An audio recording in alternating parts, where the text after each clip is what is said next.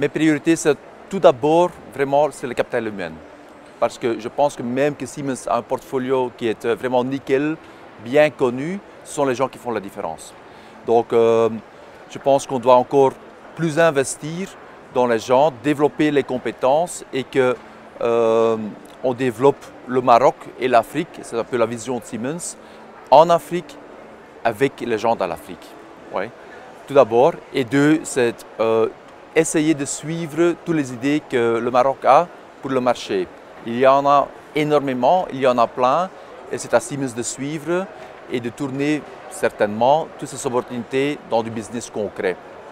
Et là, il y en a trois piliers qui sont euh, très importants à nous.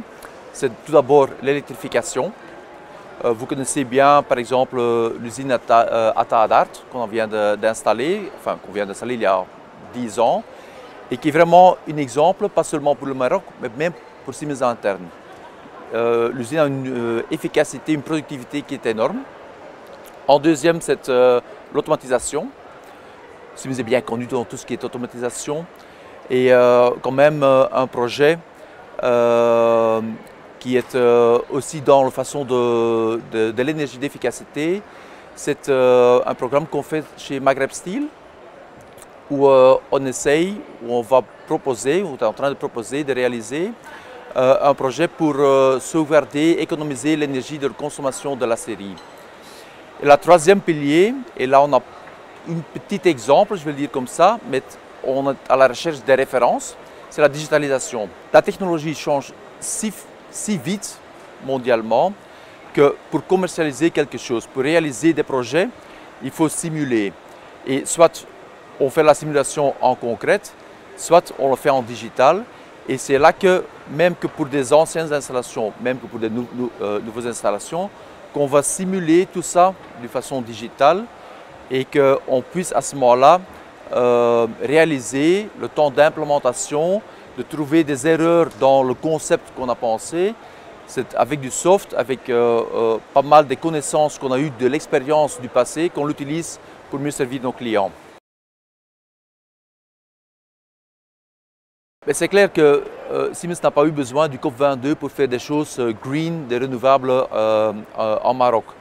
Si je regarde l'installation qu'on est en train de faire qui, a se réalisé à Tarfaya avec le parc d'éoliennes, là c'est un exemple merveilleux qui, où on épargne, je pense que c'est autour de 900 000 tonnes du CO2 qui est un équivalent de, comment on dit ça, de non pas la consommation, qui est l'équivalent de, de, 300 000 voitures par année. Donc c'est énorme. Euh, on y participe aussi dans les projets NOR 1, 2, 3, ouais, où on fournit les, turbines. Et aussi là, il y a un équivalent de 800 000 tonnes. Donc il y a plein euh, de, des initiatives euh, que Siemens a déjà réalisées. Nous avons Tarfaya, nous avons aussi les projets NOR 1, 2, 3, où nous fournissons euh, les turbines. Et là, euh, à nouveau, c'est une, euh, une, high-tech euh, technologie et on épargne du, du, CO2 qui est un équivalent de 800 000 tonnes, donc aussi énorme. Il y a encore énormément de projets qui vont se lancer, hein, certainement pour y arriver, d'avoir une, une, une, partie de 52% de renouvelables en 2030 pour le pays du Maroc.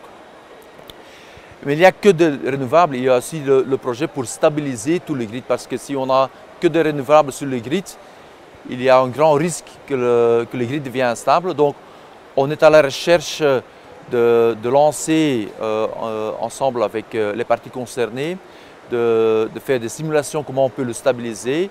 Il y a aussi le, le projet gigantesque qui s'annonce, c'est le Gas to Power, qui est aussi du gaz avec des LNG pour stabiliser les grids et pour trouver des solutions intermédiaires pour y arriver euh, aux objectifs par euh, le pays du Maroc.